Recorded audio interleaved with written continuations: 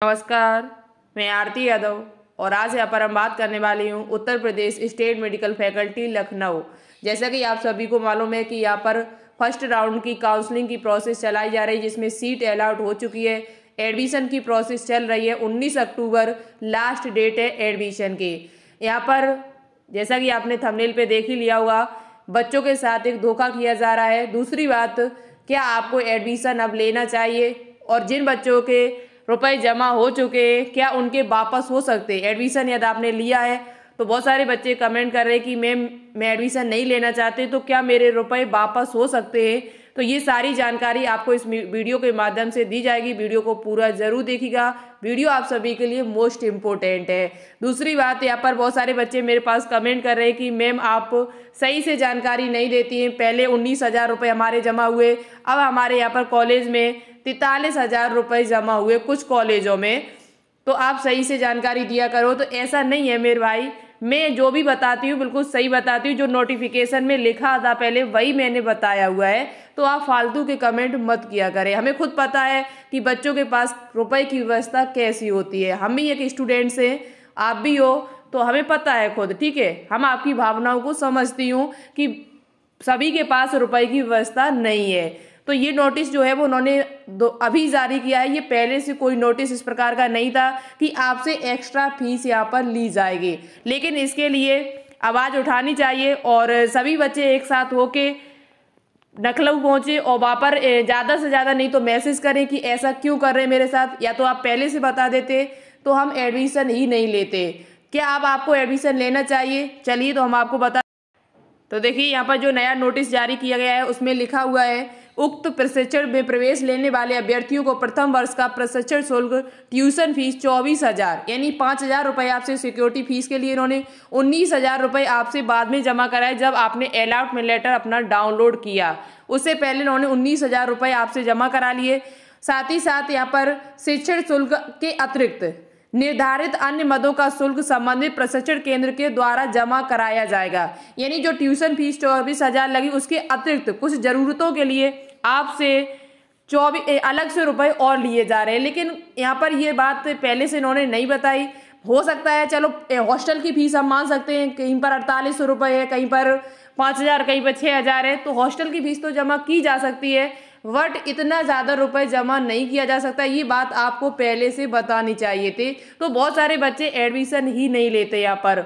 यहाँ पर बच्चे बता रहे हैं कि मुझसे तैतालीस हज़ार रुपये जमा करा लिए गए। उन्नीस हज़ार पहले से, चौबीस हज़ार फिर उन्होंने ले लिए कॉलेज में जब हम एडमिशन कराने के लिए गए। ऐसा नहीं करना चाहिए, इसके प्रति आवाज़ उठानी चाहिए। ज़्यादा से ज़्यादा सभी बच्चे मैसेज करो। नहीं तो इनकी ऑफ़िस लखनऊ में वापस सभी लोग एक साथ होके, जो पास के बच्चे हैं, वो सभी जाइए और उनसे कहिए कि ये नोटिस जो है वो आपको पहले से जारी करनी चाहिए थे। ये नोटिस आप क्यों जारी की? और इतना ज़्यादा सभी के पास पैसा नहीं होता, मुझके, मुझे भी पता है। और ये पहले इन्होंने किसी भी नोटिस में नहीं दिया था। के जी एम यू की तैतालीस हज़ार फ़ीस है। शेष किसी भी कॉलेज की तैतालीस हज़ार फ़ीस नहीं है और ना ही ऐसा नोटिफिकेशन में दिया हुआ है। अब बात कर लेते हैं यहाँ पर। सभी बच्चे हमारे हिसाब से तो मैसेज करें ज़्यादा से ज़्यादा, जिससे वो परेशान हो और उनसे कॉल करिएगा, जिससे आपकी समस्या हो सके कि सॉल्व हो जाए। दूसरी बात यहाँ पर, क्या आपको एडमिशन लेना चाहिए? तो देखो एडमिशन जिन बच्चों को, जैसे लैब टेक्नीशियन की सीट मिली हुई है ओटी टेक्नीशियन कोई भी सीट आपको मिली है, यदि आप कहीं प्राइवेट करने के लिए जाएँगे तो एक से लेके दो लाख रुपए का खर्चा वैसे भी हो जाता है। ज़्यादा ही हो जाएगा आपका प्राइवेट कॉलेजों में। आपको गवर्नमेंट कॉलेज मिला, अच्छी खासी पढ़ाई आपको मिलेगी यहाँ पर, सुविधाएँ मिलेंगी अच्छी खासी। तो आप हमारे हिसाब से एडमिशन निरस्त ना करें एडमिशन ले लें और अच्छे से पढ़ेगा जिन बच्चों के पास पैसे की व्यवस्था है, अब बहुत सारे बच्चे जिनके पास नहीं है, उनका तो हो सकता है बट जिनके पास पैसे की व्यवस्था है, वो बच्चे अपना एडमिशन ले लीजिएगा। क्योंकि आप गवर्नमेंट से प्राइवेट कॉलेज में कहीं करेंगे जाके, तब भी आपका खर्चा इतना ही हो जाएगा। ठीक है, ये हमारी सलाह है। अच्छा लगे तो मानना, नहीं तो कोई दिक्कत नहीं।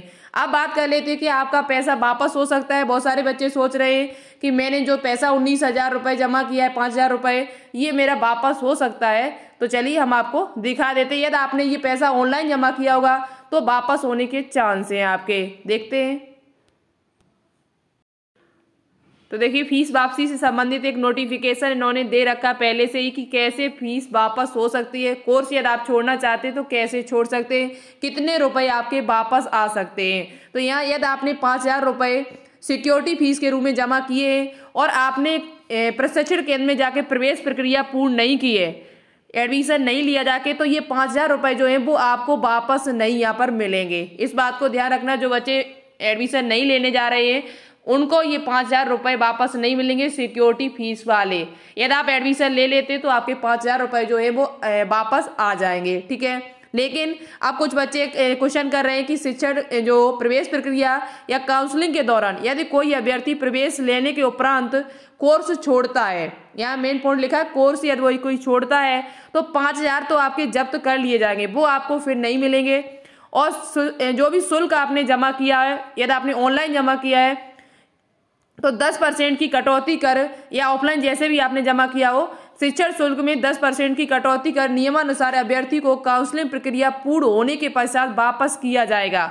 जैसे ही आपकी काउंसलिंग प्रक्रिया पूर्ण होती है, वैसे ही आपको वापस कर दिया जाए। लेकिन प्रवेश प्रक्रिया यदि समाप्त हो गई है, एडमिशन की डेट निकल चुकी, सब बच्चों का एडमिशन हो गया, सभी सीटें यहाँ भर चुकी हैं। उसके बाद यदि आप कोर्स छोड़ते हो और अपनी फ़ीस वापस लेना चाहते हो तो आपको फ़ीस जो है, वो वापस नहीं दी जाएगी।